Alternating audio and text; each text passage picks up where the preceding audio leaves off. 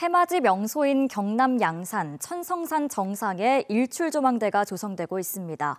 새해 첫 일출을 보려는 관광객들이 몰릴 걸로 예상되는 가운데 저희 KNN은 새해 첫날 일출 시간에 천성산 정상에서 뉴스를 생방송할 예정입니다. 김동환 기자가 보도합니다.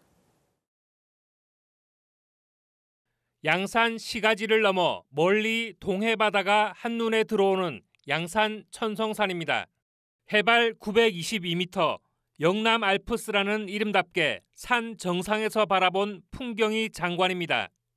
일출 명소로도 이미 유명세를 치르고 있는 곳입니다. 양산시가 천성산 정상 원효봉에 조망대를 조성하는 해맞이 사업을 추진하고 있습니다. 일출 전망대인 천성대 건립과 주변 정비 사업이 핵심입니다. 조망대 조성을 위해 돌을 쌓고 다듬는 작업이 한창입니다. 임도 13곳과 일출 관람 코스에 정비 조성 사업도 포함되어 있습니다.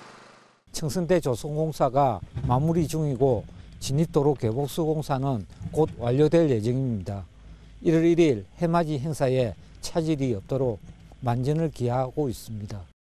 양산시는 천성산을 유라시아에서 가장 먼저 일출을 볼 수 있는 관광 명소로 추진하고 있습니다. 유럽에서 일몰이 가장 늦은 포르투갈 신트라시와 우호 협약을 맺고 관광 상품화 방안도 추진하고 있습니다.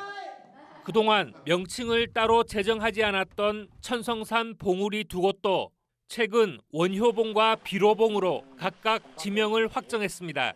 하늘과 땅의 영험한 기운이 함께하는 천성산의 새해 첫날 해맞이가 모든 시민들에게 행운이 될 것으로 어, 또 큰 기대를 합니다. 2024년 새해를 맞는 천성산의 첫 일출은 KNN을 통해서 확인할 수 있습니다.